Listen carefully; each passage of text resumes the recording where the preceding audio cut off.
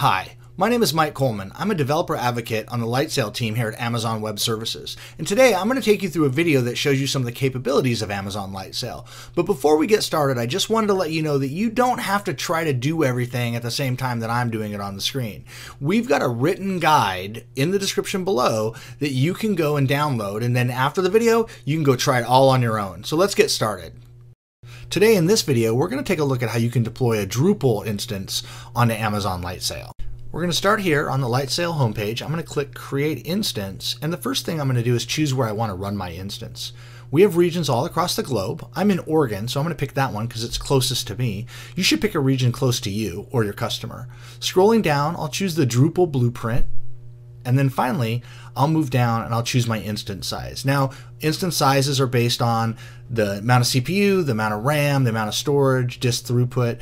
Choose one that works for your application. I'm going to go ahead and leave mine at the default. And then finally, all I need to do is name my instance. So I'll type a name in here, and then I'm going to come down and I'm going to click Create Instance. Now it'll take a few seconds for the instance to come up and running, so we'll pause the video and we'll rejoin it when it's running. So the instance is up and running, and what I want to do first is I want to assign a static IP address. So I'll click on the instance name and then go into networking and click create static IP. I can choose my instance from the dropdown and then give the IP address a name. What I'm doing here is giving it an IP address that won't change when the instance reboots. By default, Lightsail instances have dynamic IP addresses assigned to them. So if the instance was to reboot, that IP address might change, and that's not something you want in a production system. So let's go ahead now and go ahead and connect to that instance, load up our website and see how that's looking. So I'll come over here, I'll grab the IP address, and then I'm going to move into another tab and I'm going to paste that into my browser. And you can see the Drupal webpage will come up here in just a second.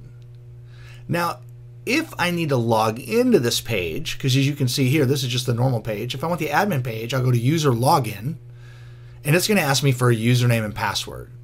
To get the password, I need to actually connect to the instance through an SSH session. So I'll click connect here, and the password is stored in this file, Bitnami application password. And this password is unique. Every time the instance is created, a new password is generated, but it's always stored under the same file name. So I can grab that password, go back to Drupal, the username is user, and then I can type the password in and click connect, and you can see here, now I'm in the full Drupal user, admin user interface. And so from here, I can do whatever I need to do with Drupal. So that's it. That's how easy it is to get Drupal up and running on Amazon Lightsail. For more information on Lightsail, go ahead and visit aws.amazon.com slash lightsail.